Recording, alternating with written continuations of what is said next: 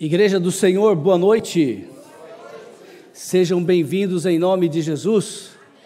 Natália com as crianças, podia se colocar de pé para a gente orar por vocês. Os jovens com a Marília, onde estão os nossos jovens? Os nossos jovens estão espalhados por aí, vamos colocar em pé e vamos orar por suas vidas, para que Deus também toque o seu coração lá na classe, na classe das crianças e na classe dos jovens. Pai querido, nós precisamos do Senhor em todos os momentos. Deus, que o teu doce Espírito Santo, através, Senhor, dos professores das crianças, através, Senhor, da Marília, Senhor, o teu Espírito Santo fale com tanta doçura, Senhor, e eles possam, Senhor, beber, se apaixonar pela tua palavra se apaixonar por Jesus, Senhor. E ainda que pequeninhos, ó Pai, eles possam levantar a sua mão e dizer: Senhor Jesus, eu te quero, eu te amo, eu sou pecador, me salva. Que os nossos jovens também, Senhor, tenham, Senhor, a terra do seu coração preparados para receber a ministração da tua palavra, Senhor. Que o teu Espírito Santo dê entendimento, Senhor, e usa a vida da Marília, Senhor, para ministrar com poder, autoridade e ousadia. Da mesma maneira, Senhor, pedimos para nós que vamos ficar, Senhor. Pedimos que o teu doce Espírito Santo, no poder do Espírito Santo, Senhor, nós possamos ministrar a tua palavra e prepara os nossos corações para ouvir, nos dá entendimento e compreensão, Senhor. E que o Senhor fale aos nossos corações uma vez mais nesta noite, ó Pai. E que almas, Senhor, sejam edificadas pela tua palavra, Senhor. Perdoa, Senhor, o nosso pecado. Perdoa, Senhor, os nossos pecados. Nos purifica, Senhor para que realmente possamos ser usados pelo Senhor e possamos, ó Pai, ministrar, ser alimentados e ser abençoados pelo Senhor. É a nossa oração no nome de Jesus. Amém. Amém. Glória a Deus.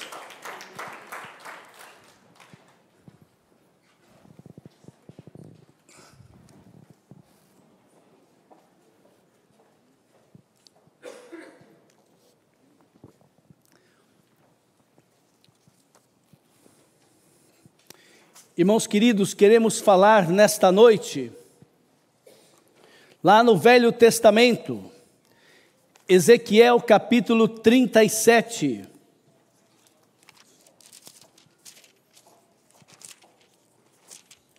Os irmãos poderão comparar, comparar não, acompanhar a nossa leitura que vai estar projetada aqui atrás. E a mensagem de hoje é sobre o vale, o vale dos ossos secos. E assim diz a palavra do Senhor no livro de Ezequiel. O próximo slide nos mostra uma figura, uma figura parece um pouco estranha, mas ela demonstra um monte de ossos secos, e alguns aqui com carne, com tendões, com músculos. E é sobre isso que queremos falar nesta noite, se assim o Senhor nos permitir. Flávio querido, ou enquanto eu estou lendo, você pode ir mudando para mim? Vou fazer a primeira mudança. Assim diz a palavra do Senhor, Deus falando a Ezequiel, profeta Ezequiel. Assim diz a palavra do Senhor.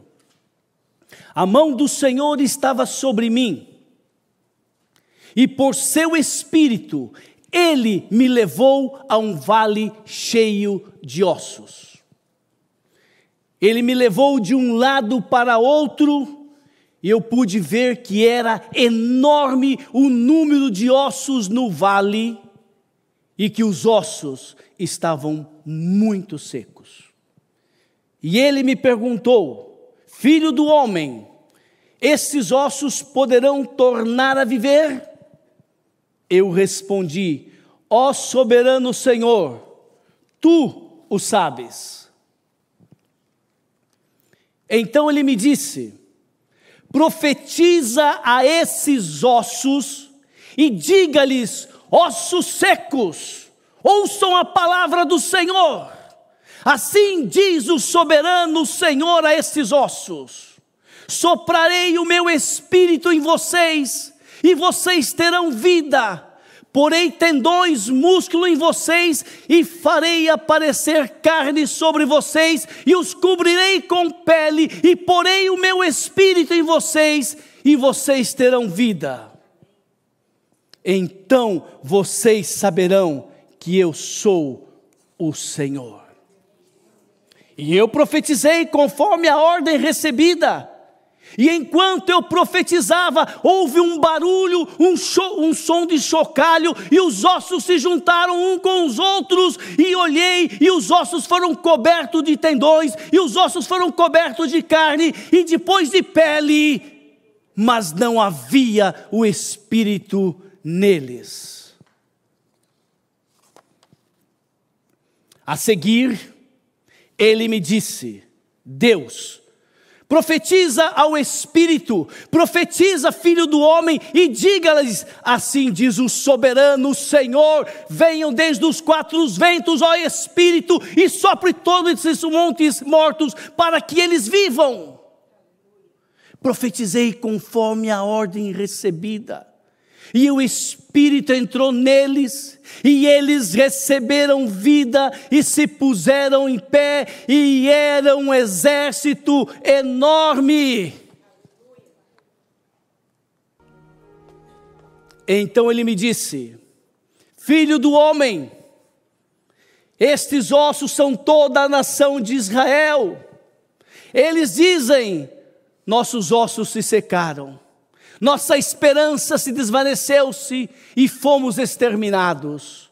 Por isso profetize e diga-lhes: Assim diz o soberano, ó Senhor, o meu povo, ó meu povo, vou abrir os túmulos e fazê-los sair e trarei vocês de volta à terra de Israel. E quando eu abrir os seus túmulos e os fizer sair vocês, meu povo, saberão que eu sou o Senhor.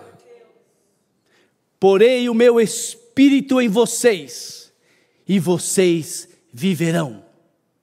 E eu os estabelecerei em sua própria terra e então vocês saberão que eu, o Senhor, falei, eu, o Senhor, fiz. Palavra do Senhor.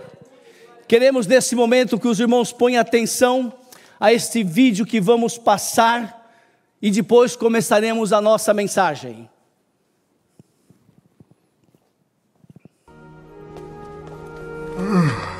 ¿Durmió bien? Muy bien, gracias. Traje agua para que se lave el rostro.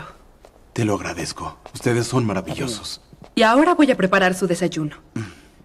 Está en español.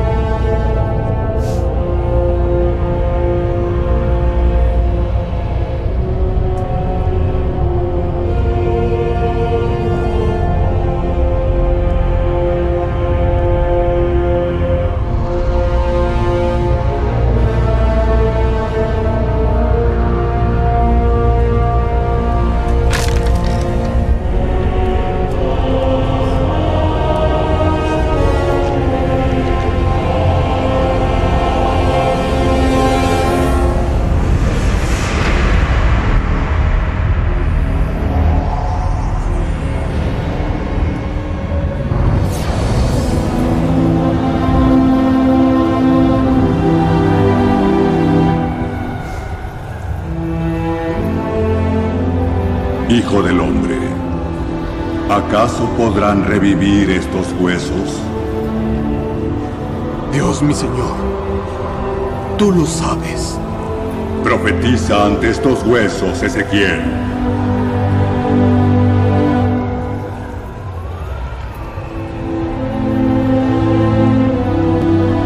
Huesos secos, escuchen la palabra del Señor. Yo haré entrar en ustedes el Espíritu vivirán. Pondré tendones sobre ustedes. Haré que crezca carne sobre ustedes. Sobre ustedes extenderé piel y pondré voz y espíritu. Y vivirán. Y sabrán que yo soy el Señor.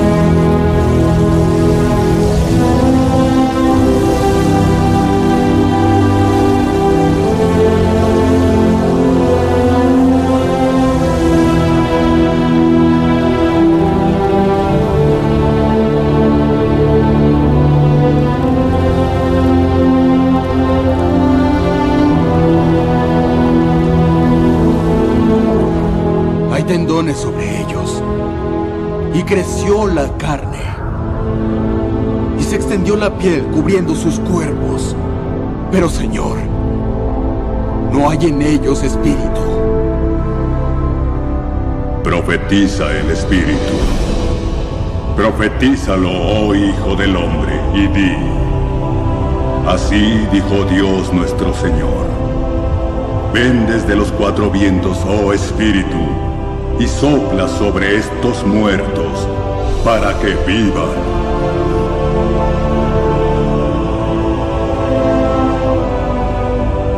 Así dijo Dios nuestro Señor. Ven los cuatro vientos, oh Espíritu, y sopla sobre estos muertos para que vivan.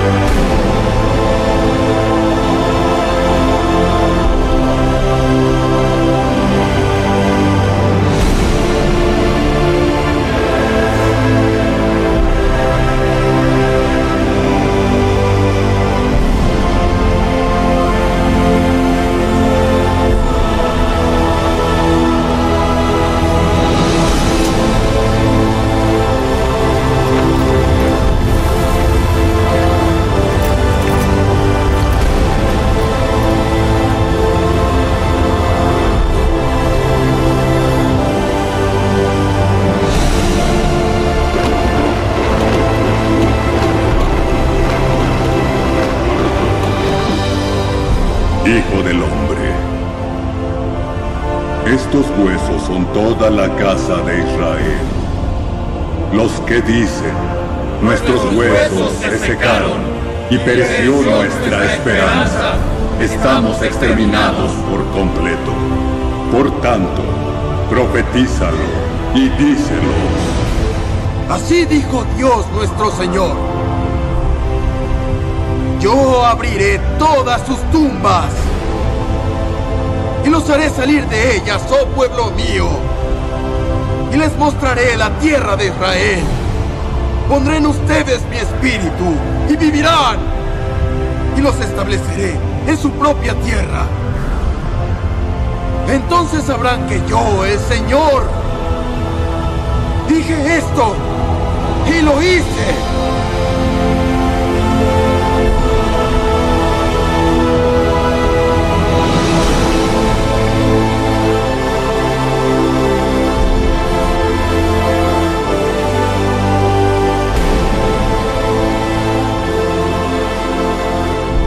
¿Qué pasa, profeta? Dios habló conmigo.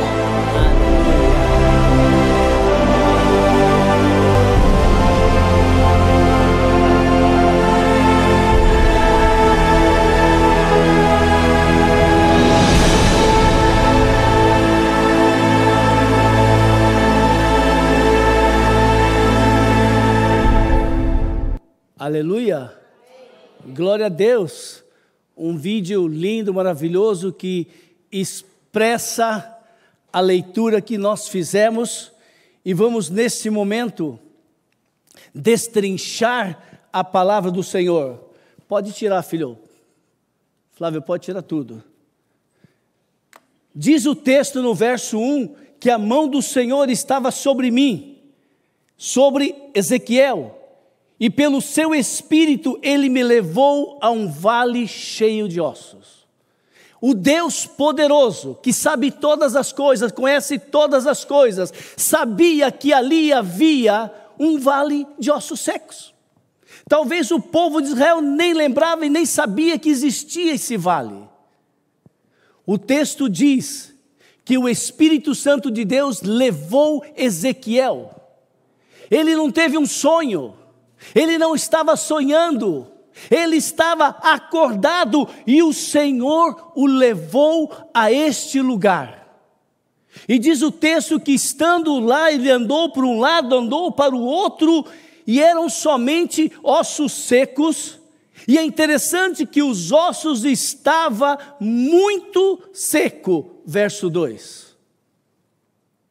Para que nós ao lermos não tivéssemos nenhuma dúvida que não havia vida naqueles ossos. E Deus pergunta ao profeta: Filho do homem, estes ossos poderão a tornar a viver? Talvez quando você ouviu a resposta do profeta, ó oh, soberano Senhor, tu lo sabes. E se ele dissesse, sim, Senhor, o Senhor pode todas as coisas, Senhor. Ezequiel, talvez temeroso de errar na resposta, respondeu: Ó oh, soberano Senhor, tu o sabes.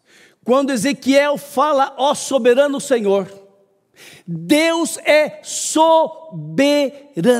Ele está acima de todas as coisas, não há nada que esteja fora do poder dEle ou do alcance dEle, Ele é o Deus soberano sobre todas as coisas, e Ezequiel reconhece a soberania do Senhor.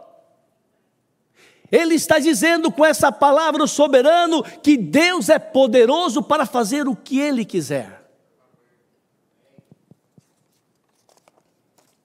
E continua o diálogo entre Deus e Ezequiel, e ele recebe essa ordem do Senhor para que ele profetize aos ossos secos e diga aos ossos: essa é a palavra do Senhor.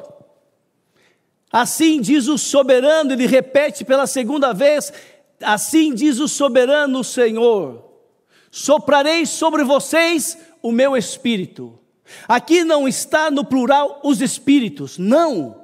Só existe um Espírito, e é o Espírito de Deus, aquele que levantou Jesus dentre os mortos. E ele diz: Assim diz o soberano: soprarei o meu Espírito em vocês, e vocês terão vida, terão tendões, terão músculos, terão pele. Amados, imagina essa cena que estava ali, ele abrindo para os ossos: ossos o Senhor diz. Talvez se você passasse por um cemitério e visse alguém falando com os ossos, o que, que você falava? Uh, Tá meio louco esse aí. Ainda que fosse Ezequiel. Ezequiel estava profetizando e mandando os ossos secos ouvirem o que o Senhor Todo-Poderoso está dizendo. Ossos secos. E Ezequiel declara naquele momento que aqueles ossos vão ter tendões, vão ter músculos, vão ter carne e vão ter pele. Esse é o Deus maravilhoso, o Criador de todas as coisas. Deus não disse, osso se levanta e o osso se levantou, não. Ele tinha que colocar ordem naquela criação, ordem naquelas vidas, teria que ter tendões, teria que ter músculo, porque só a carne que aconteceria com a pele, nada se segura. Existe a necessidade de ter os tendões, de ter os músculos, e aí Deus disse: Vou mandar para vocês carne, cobrirei vocês com pele, e porei em vocês o meu espírito, e vocês terão vida não bastaria somente declarar, profetizar, ossos tenham tendões, ossos tenham músculo, ossos tenham carne, ossos tenham pele. E é como aquela foto que nós vimos ali, aquele vídeo, um monte de corpos todos mortos. Mas o Senhor diz que Ele ia colocar o seu espírito, e somente através do sopro, do Todo-Poderoso, através do seu espírito, é que aqueles ossos iam ter vida. E ao acontecer isso, amados, aqueles homens e mulheres que iam ter vida novamente, eles iam reconhecer: só o Senhor é Deus, é o que diz o texto. Ezequiel, obediente ao Senhor, ele profetizou conforme a ordem que Deus deu para ele. E enquanto ele profetizava, diz o texto, enquanto eu estava falando, eu ouvi um barulho, um som, parecia de um chocalho, osso com osso se encontrando, osso com osso se buscando. E você viu no vídeo que o, o, o osso da perna não veio aqui no braço? Cada osso encontrou a sua juntura? encontrou o quê? A sua junção, falei juntura. Cada um encontrou e os ossos se juntaram e ele tinha ali um esqueleto. E de repente ele começou a olhar aqueles esqueletos e começou a aparecer tendões, músculo, carne e pele. E diz o texto no verso 8: Eu olhei, eu vi, eu vi. Mas ele diz no final do verso 8: Mas não havia vida naqueles ossos. Mas não havia espírito de vida neles. Eram homens, eram mulheres de carne, osso, cabelo, orelha, nariz, boca. Tinha coração lá, tinha fígado, tinha rim. Mas eles estavam mortos porque não havia um espírito de vida neles. E ele razona com o Senhor, diz: Senhor, e agora? E o Senhor continua e diz: Ezequiel, profetiza ao Espírito. Ezequiel profetiza, homem, diga: assim diz o soberano, que dos quatro ventos da terra venha o Espírito e sopre sobre esses, essas vidas, sobre esse corpo, vida. E que cena maravilhosa, vendo o Espírito de Deus vindo e trazendo vida àqueles corpos sem vida. E soprou o Senhor vida naqueles corpos e eles viveram. Eles receberam vida e eles se puseram em pé, e era um exército enorme. Eram apenas corpos, sem valor, sem vida. Mas depois que Deus soprou sobre eles o seu espírito de vida, eles tiveram vida e se tornou um exército enorme, um exército grande. Amados, essa profecia está se referindo a Israel, que foi destruída completamente pelos assírios, pelos babilônicos, por Nabucodonosor. Todo o livro de Jeremias que precede o livro de Ezequiel, Jeremias fala dessa profecia: destruição, morte, porque o povo se rebelou contra Deus. O povo abandonou Deus e Deus disse: Eu vou matar todos vocês.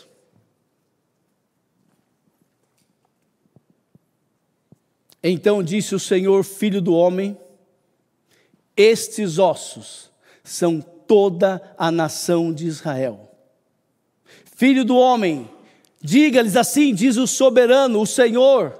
Ó oh, meu povo, vou abrir os túmulos, vou abrir os seus túmulos, vocês foram enterrados, e vou fazer sair, e trarei vocês de volta à terra de Israel. E o verso 14 diz, perdão, verso 13: E quando eu, o Senhor, abrir os seus túmulos, e quando eu, o Senhor, fizer vocês saírem dos seus túmulos, vocês, meu povo, saberão que eu sou o Senhor. E o verso 14 diz: Porei o meu espírito em vocês, e vocês viverão e eu estabelecerei em sua própria terra. Queridos, amados, a palavra do Senhor, ela está dizendo que existem pessoas que estão entre nós hoje, vivas, respirando, falando, cantando, e muitas vezes elas são como esses ossos secos que não tem vida, não tem vigor, não tem prazer, não tem alegria. É possível que entre nós hoje existam pessoas que no seu relacionamento na sua casa, com sua esposa, com seu esposo, está seco, está enferrujado. São amiguinhos, bari-bari. Tudo bem, tudo bem, olá, como que vai? É possível que existam pais aqui que não conversem com os seus filhos. Não pergunta para o seu filho como você está, filho. Como está a sua luta? Você está passando algum problema? Você está passando alguma luta? Posso orar com você? Eu quero orar com você. Pais que não têm relacionamento com seus filhos porque a vida está seca.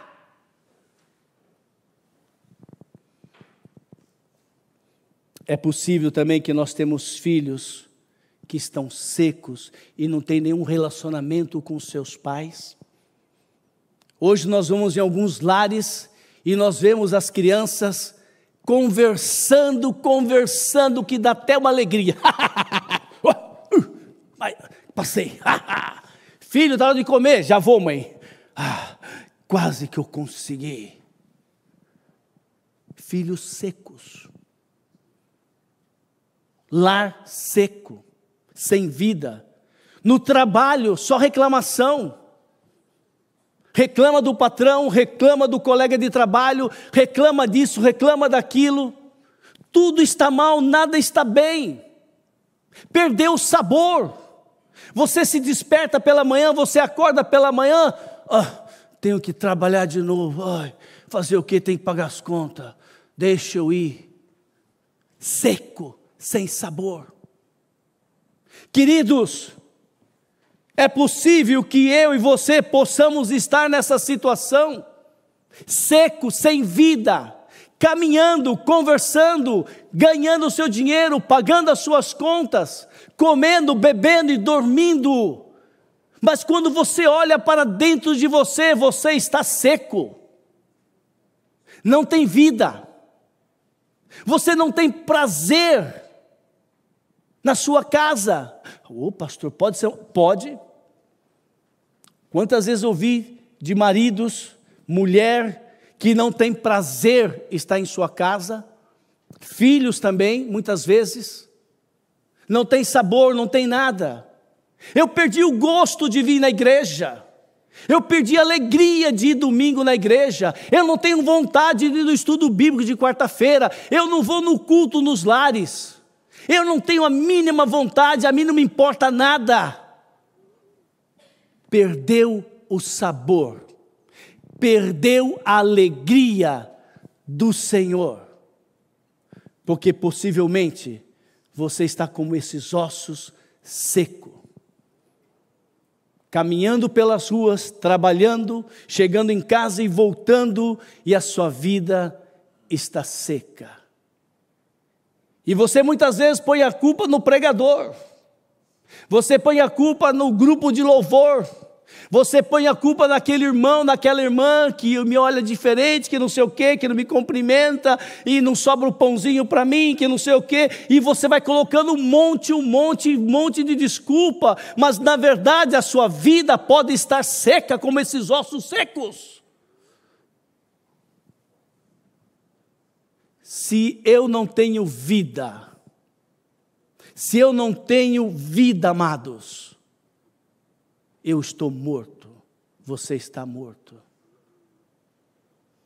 O Senhor revelando através de Ezequiel que existem homens e mulheres que estão secos por dentro. Existem pessoas que elas acham que ao se envolver em alguma coisa, a minha fé vai se fortalecer. Existem pessoas que pensam que por estar envolvido em alguma coisa, eu vou estar firme com o Senhor. Mas na verdade, ao eu estar vivo e envolvido com o meu Senhor, eu tenho prazer e alegria de trabalhar para o meu Senhor. Através da minha igreja local, através da minha igreja, através do Good Samaritan, eu tenho alegria. Mas se nós estamos secos, não temos vida com o Senhor. Olha para dentro de você. Olhe para dentro, como eu olho para dentro de mim, e eu tenho que fazer uma endoscopia e ver se realmente eu estou seco, ou estou vivo, ou se eu estou morto, se eu estou desanimado, e eu vou descobrir como é que eu, Jonas Mustafa, estou. E ao descobrir como é que eu estou, eu corro para o Senhor, que pode me dar vida. Amados, Deus é o único que pode soprar sobre você vida, gozo, alegria, paz, esperança, determinação em seguir ao Senhor. Amados, nós estamos numa jornada que não sabemos quando vai terminar. Nós estamos, e eu creio, nós pastores dessa igreja cremos, que nós estamos na época da apostasia. Olha ao seu redor, olha quantos bancos vazios. Alguns estão doentes, que eu sei, outros estão viajando, mas outros não estão aqui porque estão secos.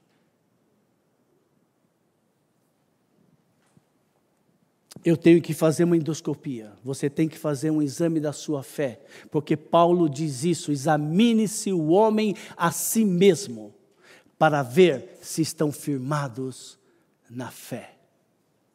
Amados, eu acredito que você e eu gostaríamos de ser homens e mulheres felizes felizes na casa, felizes no trabalho, feliz na igreja, feliz em realizar, feliz em ir em Home Depot, feliz em ajudar no Good Samaritan, feliz em missões. Eu quero fazer, eu desejo fazer, mas eu não consigo. Eu não sinto vontade, eu não tenho nenhum desejo de me envolver em nada. É possível que você seja como esse osso seco. Tem tendões, tem carne, tem músculo, pensa, raciocina, vê, cheira, come, ouve e está nessa situação, morto espiritualmente.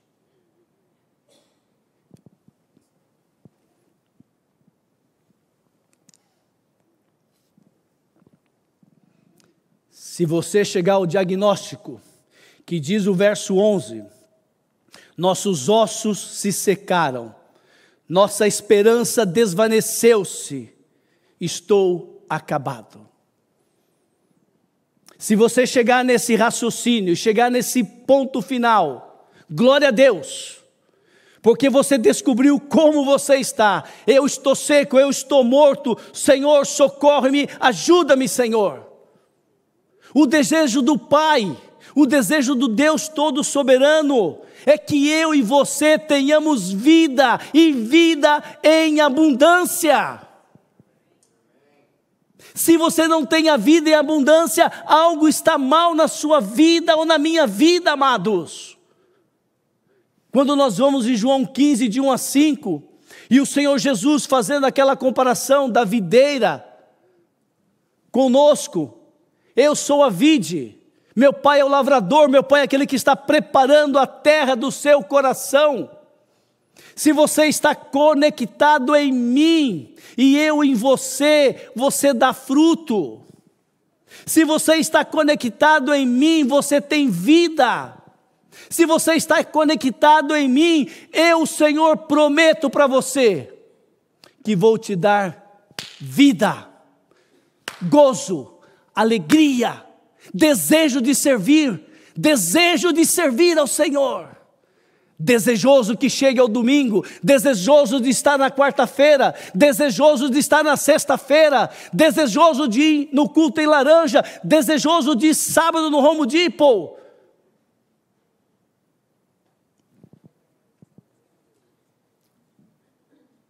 O morto não pode fazer nada.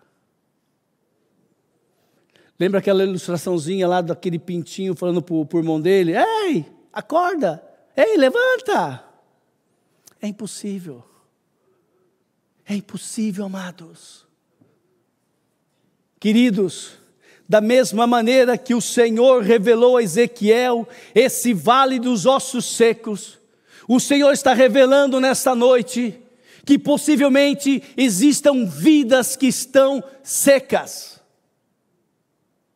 O que deixa a minha vida seca o que resseca o Jonas por dentro e você é quando eu me desconecto do meu Senhor. Quando nós pedimos para apagar as luzes, tudo ficou escuro, não? Pum! Desconectado. Escuridão completa. Ao acender a luz, voltou a conectar todos os cabos positivo, negativo e o terra e bum! Existe luz. Da mesma maneira, amados, se eu não estou confessando o meu pecado, se eu não estou reconhecendo diante do Senhor, Senhor, eu pequei em pensamento, Senhor, eu tenho caminhado errado na minha vida, Senhor.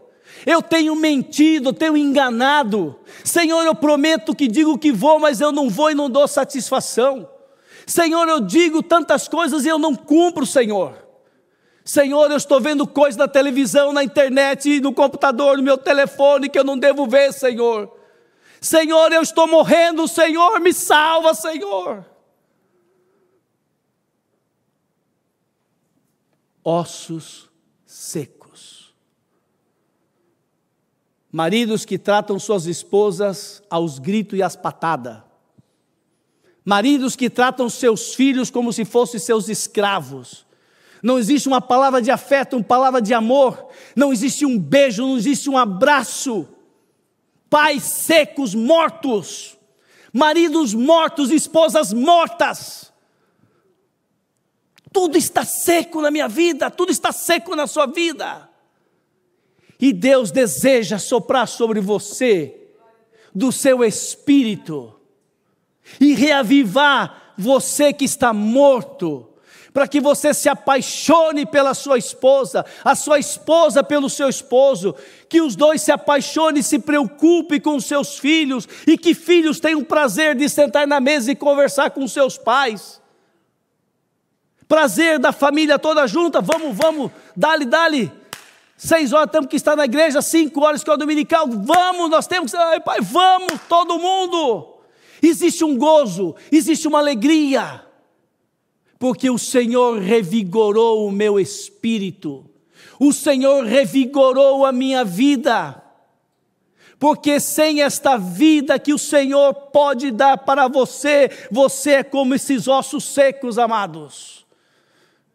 E eu prometo para você que você não está feliz. Você não está feliz com a vida que você está levando. E o Senhor está mostrando através de Ezequiel, amados, que Ele pode transformar a sua vida, não amanhã, não daqui a pouco, mas Ele pode transformar a sua vida agora. Porque Ele é o soberano. Ele é o soberano, diz a palavra do Senhor. Ele é o soberano e eu posso dar vida a esses ossos secos. E o Senhor está dizendo que Ele pode dar vida a você, meu amado. Ele pode dar vida a você, minha amada. Ele pode transformar, transformar o seu casamento, Ele transforma o seu relacionamento, Ele transforma você no seu trabalho. Você vai ser o melhor empregado da companhia, você vai ser o melhor empregado daquela empresa.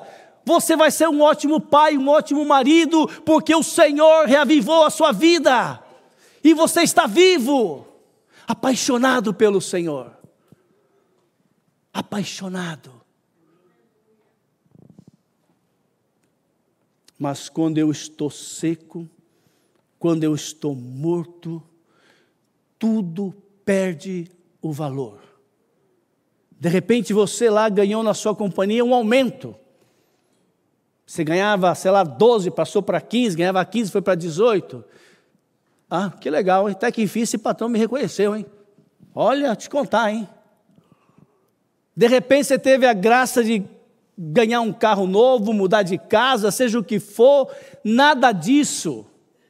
Nada disso traz você o gozo e alegria, porque você está seco. Você está seco.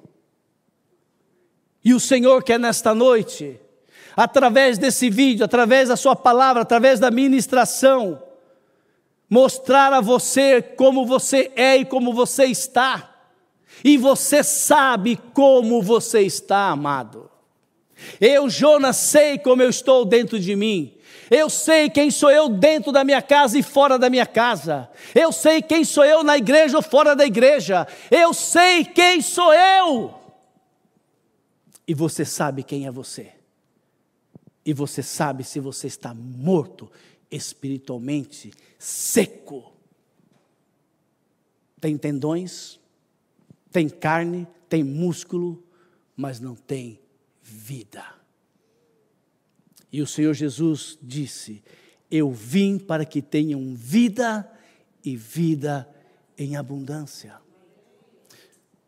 Quando o povo de Deus estava reclamando de Deus, imagina só, o povo de Deus que viu os milagres e viu no, através do Salmo 18, o monte fumegava e Deus falava e o povo ouvia e o povo não estava contente. O povo não estava contente e dizia: de que me adianta servir ao Senhor? De que me adianta ir no templo? De que me adianta, de que me adianta ir só reclamando, Deus não me ouve, Deus não me abençoa, nada passa na minha vida, não acontece nada na minha casa. E aí veio o profeta Isaías 59, 1 e 2, e Deus diz: Isaías, vai e fala para o meu povo. Diga a eles que a minha mão não está torcida, não está enferma, que eu não possa abençoar. Isaías, diga ao meu povo que os meus ouvidos não estão tapados ou inflamados, que eu não possa ouvir. Mas são os seus pecados que as fazem separação entre o homem e Deus. Vidas secas não confessa pecado. Vidas secas acha que falhou e não pecou. Vidas secas caminhando sem pedir perdão, sem reconhecer a sua vida como ela está, é uma vida seca. A única maneira de eu restaurar é falar ao Senhor: Senhor, eu reconheço, esta é a minha situação, Senhor. E clamar por misericórdia e clamar por misericórdia e pedir ao Senhor que revigore a sua vida, revigore a sua vida, revigore o seu casamento, revigore o seu lar, amado. Confissão de pecado. Pedindo ao Senhor que dê a você força para fechar a porta de fraqueza que você e eu também tenho as minhas pedir ao Senhor: Senhor, me perdoa. Eu tenho andado desta maneira, Senhor. Eu não tenho dado valor ao Senhor. Aliás, às vezes eu nem creio que o Senhor opera milagre. Às vezes eu acho que o Senhor não me ouve, Senhor. Senhor, eu estou seco. Senhor, eu estou morto. Senhor, eis-me aqui, me socorre, revigora a minha vida. É clamar socorro é reconhecer como está a sua vida, é reconhecer em que estado você está. E quando você tem essa atitude diante do Senhor, o Senhor automaticamente, ele revigora a sua alegria, revigora a alegria da salvação, revigora a alegria do casamento, revigora toda a sua vida. Porque ele tem poder para fazer isso. Ele é o soberano. Mas Deus só pode operar numa vida que está seca, que está morta, quando eu ou você reconhecemos, Senhor, eis-me aqui, Senhor. Sobrou somente a cinza, Senhor. Não tenho nada de vida em mim, Senhor. E ao reconhecer isso, e ao pedir perdão ao Senhor, o Senhor Todo-Poderoso, ele vai soprar sobre você o espírito de vida. Diz o apóstolo Paulo que nós não podemos extinguir o Espírito Santo que está em nós. Isto significa que eu, Jonas e você, mesmo tendo o Espírito do Senhor, o Espírito que me convenceu do pecado, da justiça e do juízo. Ele pode estar extinto, ele pode estar num canto da minha vida, apartado dentro de, uma, de um quarto com sete cadeados. E ele não está atuando na minha vida e na sua vida. Então eu tenho que pedir para o Senhor: confesse o pecado, confessa a sua situação, abre a porta e deixa que o Espírito Santo tome conta da sua vida. Porque se você continuar vivendo no pecado, você certamente morrerá. Mas se você buscar do Espírito Santo do Senhor, Senhor, me socorre, me ajuda, eu preciso do Senhor. E eu quero agradar o Senhor, mas eu estou morto, Senhor. Olha para mim, Senhor. Olha a minha situação, Senhor. O Senhor vai te perdoar. Ele vai te limpar e ele vai te restaurar a sua relação com Ele, a sua relação com aqueles entes queridos onde você vive, que é a sua família, a sua igreja. Você vai amar o irmão incondicionalmente. Você vai perdoar o irmão incondicionalmente. Você vai ajudar o irmão incondicionalmente, porque eu estava morto e agora estou vivo. O Senhor restaurou a minha vida. E aí você vai poder louvar ao Senhor, servir ao Senhor com alegria. Quantas vezes você se levanta de manhã e você lembra de alabar, louvar o seu Senhor? Tem vezes que alguns se levantam e não tem vontade de nada, chuta o pau da barraca, levanta bravo, já briga com a mulher, briga com o cachorro, briga com a catorra, briga com os filhos, e vai no serviço e já está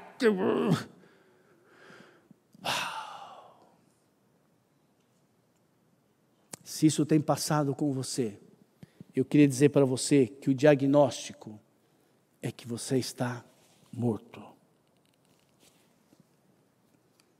Você está morto. Mas eu quero trazer a notícia para você que existe esperança. Existe uma esperança e a esperança é levar ao Senhor a verdade de como você e eu estou vivendo. Eu não estou falando para você, minha irmã, você, meu irmão. Não, é para a minha vida, Jonas Mustafa. É para mim. E quando eu estava lendo esse texto e preparando essa mensagem, eu falei: Senhor da glória, eu não quero ser esse osso seco, eu quero ser o Jonas Mustafa vivo. Eu quero ser um homem de Deus que agrade o Senhor. Deus restaura a minha comunhão, restaura a minha vida. E o Senhor opera. E o Senhor dá alegria. Problema vem, notícia do Brasil vem, e é processo, e é não sei o que, é tantas coisas, e você está alabarei, alabarei, alabarei, alabarei, alabarei-me, Senhor. E você pode dar glória a Deus que o Senhor está no controle de tudo. Se Deus me der vitória nessa situação, eu louvarei, e se Ele não der, eu louvarei. Mas quando não é assim, irmão, quando eu estou morto, alguém que olhou para mim atravessado, eu já estou com uma raiva. Alguém que não me cumprimentou pela manhã, já estou, já crio uma barreira. O meu patrão pediu fazer alguma coisa, tá, já vou fazer, que você sempre está me pedindo. Nem acabei de chegar, já está pedindo para mim as coisas. Amados, a vida não tem sabor nenhum quando nós estamos secos. Secos. E o Senhor, nesta noite, quer restaurar a sua vida. Eu queria que cada um dos irmãos fechasse os seus olhos nesse momento que cada um dos irmãos fechasse os seus olhos e olha para dentro de você. Se você está seco, a vida está sem sabor, relacionamento com a esposa, com os filhos, com o patrão, com os amigos do trabalho, tudo está seco, eu não tenho sabor nenhum, eu faço por obrigação, porque não tem outra maneira. Confessa isso ao Senhor como sendo um pecado.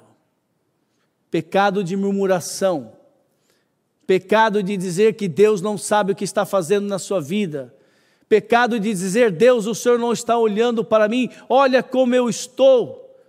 Não acuse ninguém, olhe para você e diante de Deus, o Todo-Poderoso, peça perdão pelo seu pecado, peça perdão pelo estilo de vida que você tem levado até agora, confessa a Ele. Diga a Ele, está esperando, Ele sabe de todas as coisas. E ao confessar o seu pecado, ao confessar o seu pecado, Ele, o Todo-Poderoso, através do sangue de Jesus, Ele te perdoa. Ele renova suas forças, renova sua alegria. E Ele põe um espírito em você de gozo e alegria que é o Espírito Santo de Deus que já está em você, e ele vai tomando conta e parte da sua vida. Peça ao Senhor e confessa a Ele: Senhor, minha vida está assim, assim, assim, e eu não quero mais essa vida, Senhor. Eu quero ser um homem, uma mulher feliz e contente com tudo. E Ele vai te restabelecer, e Ele vai te restaurar e Ele vai derramar sobre você o espírito de vida que só Ele tem, só Ele pode dar. Ó soberano Deus, Pai querido, diante de Ti, Senhor, eu quero pedir misericórdia sobre a minha vida e sobre a vida da Tua igreja, Senhor. Ó Espírito Santo de Deus, que sonda todos os corações e conhece todas as vidas aqui presentes, se existe alguém nessa condição de osso seco, Senhor, ó Deus, dá capacidade, Senhor, de o teu servo, a tua serva reconhecer diante de ti. Abre os seus olhos, Senhor, abre os seus ouvidos, Senhor, que o teu doce Espírito Santo possa realmente levar-nos a reconhecer o nosso estado e então nós queremos pedir perdão pelos nossos pecados. E pedir ao Deus Todo-Poderoso, soberano sobre todas as coisas, que dê vida e vida em abundância para cada um de nós, Senhor. Deus restaura a alegria, restaura o gozo, restaura o casamento, restaura o lar, restaura a alegria no trabalho, restaura o gozo e a alegria de servir, de vir à casa do Senhor. Restaura o gozo, Senhor, alegria de ser dizimista, alegria de pregar a tua palavra, alegria de servir. Senhor, transforma a vida desta igreja, Senhor. Ó oh, Espírito Santo de Deus, precisamos. Eu te necessito, teu povo te necessita, Senhor. Faz uma reviravolta nas nossas vidas, Senhor. E transforma, Senhor, vidas secas em vidas frutíferas, Senhor. Nós precisamos do Senhor, porque sem Ti, Senhor, nós não podemos fazer nada, ó Pai e nós oramos humildemente no nome poderoso de Jesus, Senhor. Amém. Que o Senhor os abençoe, amados.